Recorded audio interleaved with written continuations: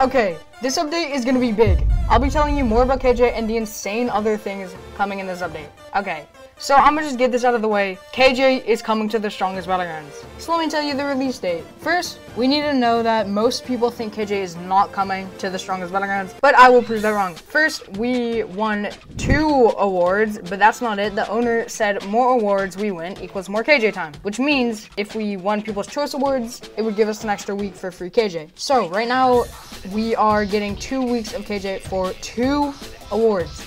Now, the release date. Most of the game devs are still in California right now, which, you know, but that was quite a while ago. So we can only assume they should be back within about two to three days. If you don't know why, it's because they went to RDC. The devs also have to get out the fourth move, which is Unlimited Flexworks or could be a different move, which I'll be talking about later, which has been in production for over two months now. So we can only assume that it, it's almost done, which is why KJ is probably coming out on Saturday next week. Not Sunday because in the Philippines where the owner lives, he's around 14 hours ahead of my time zone, so Sunday would be Monday for him. But wait, don't click off this video just yet because I need to tell you the massive things coming to the strongest battlegrounds that might be even better than KJ. So, first thing is the Suryu rework. We're gonna start off small and then build up with how insane the update that is coming is. So, as most of you know, Suryu's ultimate is pretty hated because it, it's trash. The owner, the owner's reworking Rising Fist and adding the fourth move because I don't even know how this is an ultimate move. It's basically a base move because how bad it is. It legit looks like a base move.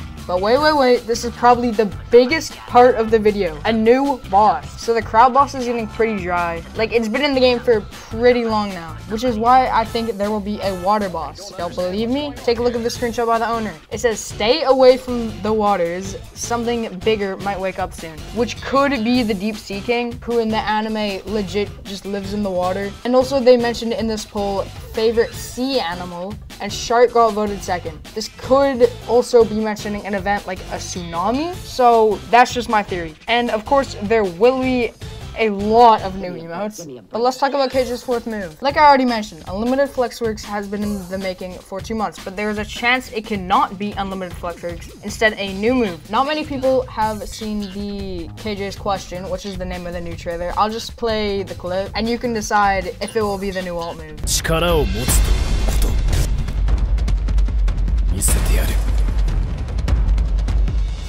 KJ の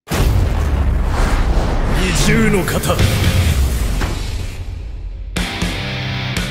Now we can't see the full move because like uh, it's a trailer. It's not really out yet. But we also have to consider that the owners of the KJ series showed the owner of TSB the new move, maybe, because the owners of the KJ series mentioned in a comment that they're aware of TSB and TSB asked for permission to use their character. Well, that's all. Consider subscribing if you want more news videos like this about KJ, and goodbye.